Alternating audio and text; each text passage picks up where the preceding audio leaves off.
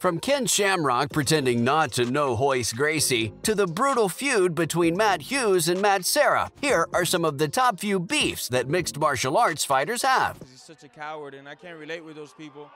So, uh, not that if you do that with girls, you're a coward, but Ben in particular, he's just a coward. He's a fraud and I'm excited I get to be the one that the universe chose to expose them all. Starting off with Royce Gracie and Ken Shamrock. This one was one of the first few beefs in MMA. I remember when I tuned in to watch the first UFC event and the way Royce Gracie handily defeated Shamrock. It was wild from start to finish. Ken claimed not to know who Gracie was, which ended up being his downfall. He got knocked out pretty early in the fight after he went on a roll with Royce, and fans were super excited as the duo went into their second fight, which was called the Super Fight. There was a lot of buzz around it. Unfortunately, though, all that fizzled in every way possible because Shamrock knocked Royce down almost instantly and lay on his guard the whole time. It finally ended up being declared a draw. And Ken Shamrock fight to a draw. Although both raised their hands you know, people in a sign of victory. You know, they never understand the subtleties, the heart of a warrior. At that time, UFC rules did not allow for standing up a stalled fight, and the first real beef ended with Royce winning 1-0-1 against Shamrock. But Gracie isn't the only MMA fighter that Ken's had beef with. He also really hates his brother, Frank Shamrock. The story of Ken and Frank talks about how two troubled young boys were adopted by a fighter. They became foster brothers and later turned out to be bitter rivals. The history of the two brothers is definitely part of MMA history. They used to be pretty close, but had a fallout when the two brothers decided to part ways at the Lion's Den School of Fighters. Both were pretty good at their games, so it must have been hard for either of the Shamrock brothers to back off. Frank was forced to leave the place, and thus began the history of the bad blood between the two of them. Their rivalry went on for a very, very long time. Ken's a better man, sure, but I'd pick Frank over him any day. He's just a better fighter. Speaking of, here's another one. Matt Serra versus Matt Hughes. The feud between the two started when Hughes was in his dominant era at welterweight, and Serra had just won the Ultimate Fighter Season 4 around 2007. Once Matt Serra beat St. Pierre to win his title, he began calling Hughes out, saying that he was disrespectful and bad for MMA. Matt Hughes took his revenge when he got some airtime on the Ultimate Fighter Season 6, where the two were rival coaches. The beef gained steam during that show, and it was clear the only way to resolve it would be with a fight. The two had a face-off in 2009, and Matt Hughes was declared victorious by a close decision. Ladies and gentlemen, after three rounds of action, we go to the judges' scorecards for a decision. All three judges score this contest 29-28, declaring the winner by unanimous decision, Matt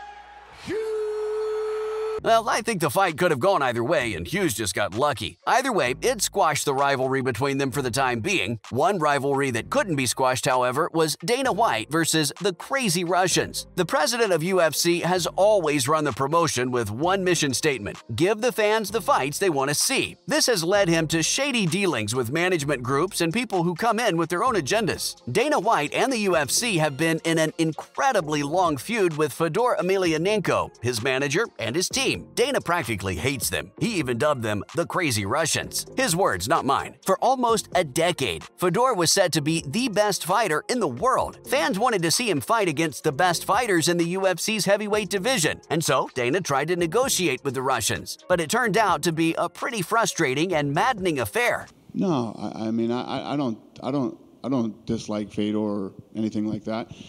Um, but no, it didn't happen. You know, just we, we gave it a shot. Can't say we didn't try. We gave it a shot, and it is what it is.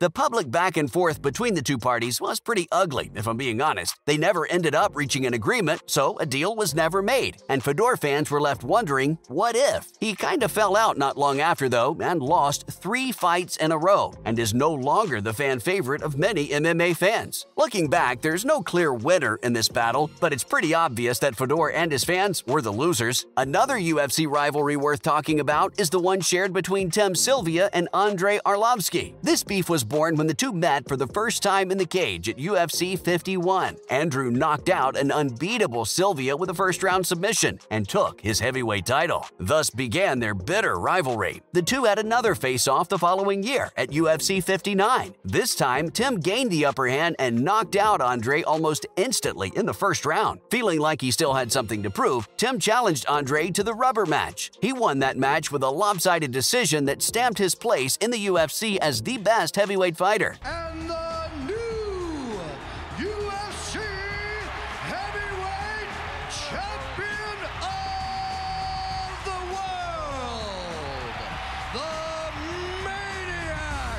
Their beef didn't stop there, though. The two began another feud years later, this time on a personal level. Tim began going out with Andre's ex girlfriend, which must have stung. But the bitterness just reminds me of another rivalry that didn't go too well Don Frye and Ken Shamrock. I know what you're thinking. This Shamrock guy's just about everywhere, and that's true. I guess he just thought he had something to prove. I mean, his own brother was a better MMA fighter than him. Anyway, this feud is different, I promise. Along with being involved in the very fight beef in the UFC, Ken began the crossover of MMA and wrestling fans by beefing with Don Frye. Don made some pretty harsh comments about Ken's personal life, which were both funny and painful. He also said that if and when they met, Shamrock's dad would corner him instead of his own son. Their rivalry was pretty brutal and generated an insane amount of hype for their fight, which took place at Pride 19 in Japan. If you guys haven't seen that fight, let me sum it up in three words. It was epic. Both fighters threw some pretty heavy strikes against one another. Frye landed and did most of the damage with his feet. Ken brought out his arsenal of kicks and ankle locks, which ripped apart Frye's defense. The latter fighter later admitted that he wasn't the same after the fight. The duo gave their all in that battle. A huge number of people watched that fight, and they were not disappointed. This was an all out, no holds barred war, and both men showed mutual respect for one another after it. I'm glad Ken had a happy ending with at least one fighter, because there's no happy ending with these two Frank Trigg and Matt Hughes. Hughes was a pretty dominant welterweight champion from 2001 to 2006. At that time, he had beef with two fighters, BJ Penn and Frank Trigg. While BJ was a bit of a silent opponent, Frank was a loudmouth that started the Hughes Trigg feud. He started this conflict by triumphing over Matt's brother in a local wrestling match and bragging about it. Hughes was not amused by Frank's outburst. It got under his skin, and a fight was soon on its way. Matt pretty much defeated Frank in the first fight with a rear naked choke in the first round. Their second fight was one of the most memorable in UFC history. Frank landed an illegal blow that the referee pretty much ignored. He jumped on Matt's back and slapped him in the same hold that had knocked him out in the first fight. It looked like it was going to be an ironic end to the fight, but then Matt broke the hold and picked Frank up. He carried him all the way across the cage before slamming him down brutally. Did before.